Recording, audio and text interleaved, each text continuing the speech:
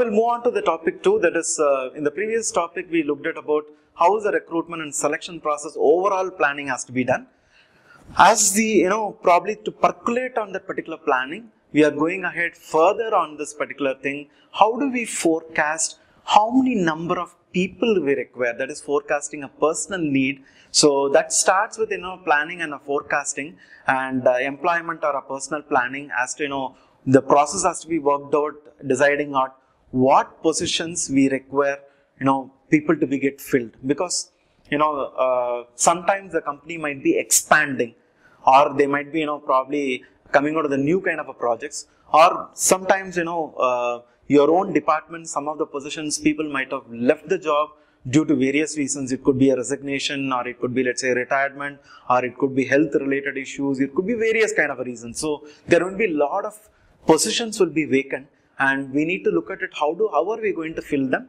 How many such kind of a post or a, you know thing is vacant? And how are we going to you know look at it? So that's the way actually you know overall planning has to be done.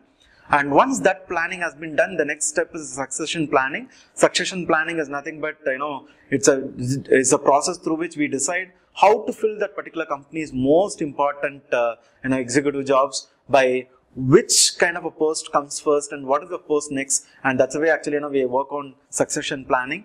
And uh, what to forecast? You know we need to forecast on three major aspects. One is overall personal need. How many number of people we require against each position and each locations. So that's the way actually we are going to do a forecasting. So normally you know the forecasting will be done like based on the position. Similar kind of skill categories we try to you know look at how many number of people require then, you know, probably when we try to uh, go in for an, you know, little funnel detail, then we'll get an idea about each position, how is that, you know, which location and what kind of position. So that's a way actually we can able to, you know, come out of the planning. Second kind of, you know, forecasting is supply of your own inside candidates. Your own inside candidates means your own ex existing employees might be, you know, qualified to fill that particular position. So whom are we going to consider? It can be you know both democratic method as well as you know let's say the company themselves can select and then uh, give them an offer. So that's the way actually we can look into it. And the third kind of you know forecasting is how how many number of people we might require to you know probably source it from outside the uh, you know organization. That means external candidates. So these are the ways actually you know three level of uh, forecasting has to be done. Now we'll come to the first part of it. That is uh, uh forecasting a personal need. There are different kind of you know forecasting tools have been used. Uh, there are three methods have been commonly adopted. One is the trend analysis. The name itself implies look at your past historical data as to each year, let's say in a marketing or a sales department, this is one of the department actually, you know, frequent employee turnover will be there. That's the reason I've given this particular example. So, you know, that's a way actually, you know, look at the past trend as to each year beginning of the uh, you know financial year if you look into it. Actually you know every company if you look at it actually when a company you know fresh graduates comes and joins the organization by may or april month i mean uh, june month april to you know june month a lot of fresh candidates will come and join. But all the fresh uh, you know graduates will not continue their job for more than 3 or 4 months or 6 months. So naturally you know what happens is every time in the year beginning if you look into it more number of people will be joined.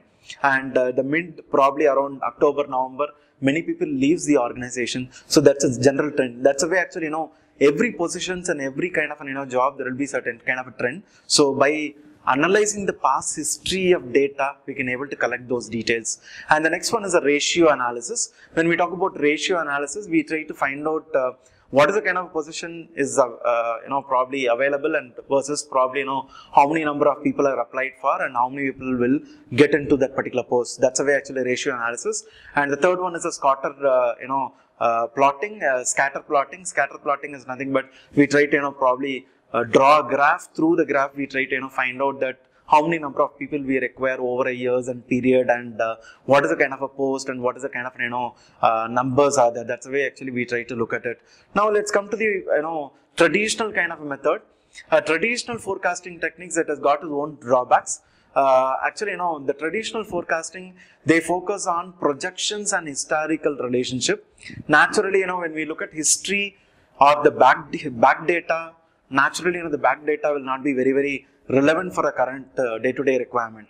and they do not consider the impact of strategic initiatives on future staffing level because every time the company's position might be different and the you know uh, client uh, requirement might be different based on the client requirement even the strategy of the overall organization also will change they might expand they might consolidate they might you know probably try to get in for a joint venture or they will go for a merger and acquisitions. Based on all these things you know your strategy and entire hr plan will change. So naturally the old traditional techniques does not consider those aspects. And they support you know compensation plans that reward managers for managing the you know ever ever larger kind of a staff. And uh, they actually you know bake in the idea that staff increases are inevitable. They think that every time staff is has to be increased they actually you know that that that's a kind of you know way they'll be looking at. And they validate and uh, institute, institutionalize the present planning process and the usual way of doing the things. And that's a way if, if you look at it actually you know it has got its own drawbacks. Now let's try to look at it actually you know using in computers how we can forecast the personal requirement. There is a computerized forecast is available. Uh, the software actually you know which can give you a complete estimation about what is the kind of a staffing you require and uh, that actually you know what do they do is they will try to project the sales versus number of people. That's a normal kind of a trend.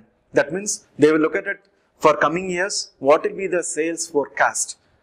What is the projected sales number? They will try to compare that with uh, you know probably the volume of production. And uh, in order to produce that particular number of uh, you know uh, units or what you call the production how many number of people we require? That's the way actually they try to look at the ratio.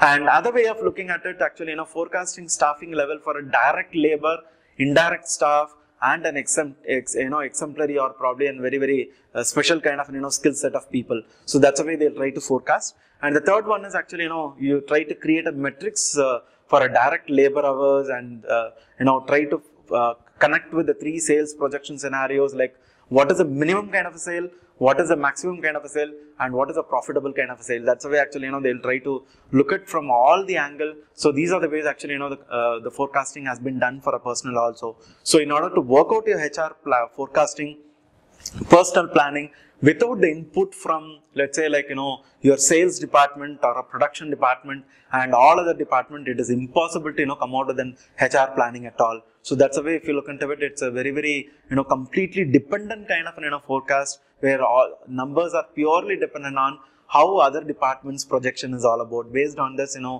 your entire personal planning has to be done.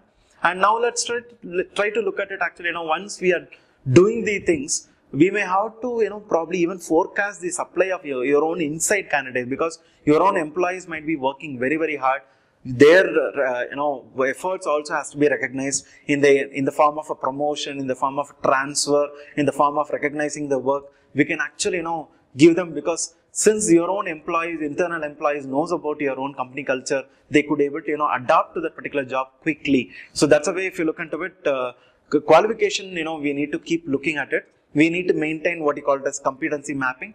And uh, based on the competency mapping the qualification inventories has to be maintained. In a qualification inventories there are two ways of looking at it. One is a manual kind of a system and uh, try to you know replace the chart and then you know time to time keep updating your uh, you know complete your record. Because every year year on year uh, your own employees might be updating their qualification. They might be undergo a lot of training program they must have developed and sharpened the skills. So those aspect has to be updated. The second kind of a thing is your com computerized kind of a skill inventory where uh, you maintain completely your HR portal or probably your HR package, what you call the ERP package. And uh, through an HR applications, we can able to, you know, try to uh, screen lot of people and based on the kind of you know job they do. So these are the ways actually qualification inventories both manually as well as a computerized thing. We can we need to keep updating the record so that we'll come to know that if any any position is vacant we can actually source it from our own internal sources. And now let's try to look at it how do we forecast the outside candidates apply? And outside candidates apply actually you know there are a lot of factors uh, actually been uh, uh, involved in doing this particular outside uh, sourcing outside candidate supply. Uh, in terms of factors in supply of outside candidates, your general economic condition. If the economy is doing well, automatically, you know, uh, what happens is like uh, there will be a lot of uh, what do you call it as job opportunities will be open up. And if the economy is down, then then actually you know your job opportunity will be you know very very less because your own business will be get affected because of the economy.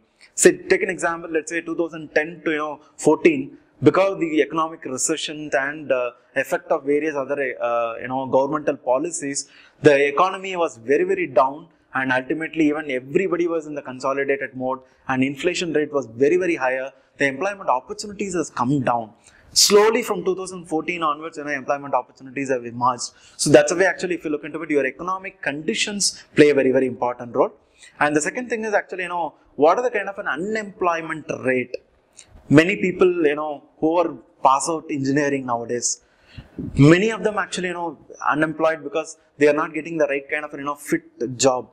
And second thing if you look into it actually you know uh, the people who are lateral entry who has got an experience because the economy uh, problem recessions they must have lost their job they must have left the job. Where they might be in a various kind of you know situations where unemployment rate will uh, increase so what is the kind of an expected unemployment rate and what is the kind of an economic conditions? All this thing we need to analyze and accordingly we need to take a call. Take an example 2015, uh, there is a general prediction that economy will do very well and uh, it will not be very excellent at least definitely it will be in a good condition and even the unemployment rate if you look into it uh, government recently come out with the policy on removing the unemployment rate and next four years the current budget talks about improving the employment rate. So these are all the best opportunity for you know uh, companies to you know probably provide more number of employment opportunity. If you look at it, actually, you know, recent budget it talks about uh, they reduce the uh, corporate taxation by 5 percentage from 30 percentage to 25 percentage. So this 5 percentage reduction, why they have given for an uh, corporate is basically to you know provide more number of employment opportunity for more youths. That's an idea behind it. So ultimately, you know, next three, four years, there will be a lot of employment opportunity will be generated. So these are the kind of data HR department has to, you know, take it actively and then accordingly they need to plan. And when it comes to the sources of information, uh, where do they get this particular forecast? They can actually, you know, get this particular forecast uh, by periodic kind of, you know, business publications and all will give you an idea you have an you know uh, HR forums like NHRD or it could be NIPM or it could be various other kind of you know HR association bodies do come out with a report. And other than that, you know, your, HR consultancies, a lot of consultancies who do come out with various kind of projections reports and uh, your government uh, policies, all this thing will act as a kind of an input for collecting this information. And second thing is like online economic projections. Uh, say, for, say for example, CMI, Center for Monitoring Indian Economy and NCAER or uh, various other governmental uh, you know projections will give you a complete idea as to what is the kind of you know economic situations and how is the employment opportunities are going to be generated. So these are the ways actually you know we can collect complete information about what are the kind of you know uh, opportunities are available for external candidates, how many number of pool of talent we can get it, what is the way actually you know we can plan your entire manpower planning. So these are the ways actually we can do a planning and uh, so in this you know in this particular topic whole you know what we looked at is actually how we internally we try to look at it and how do we try to you know look at from external and overall how do we try to you know forecast. That's what we covered in this particular topic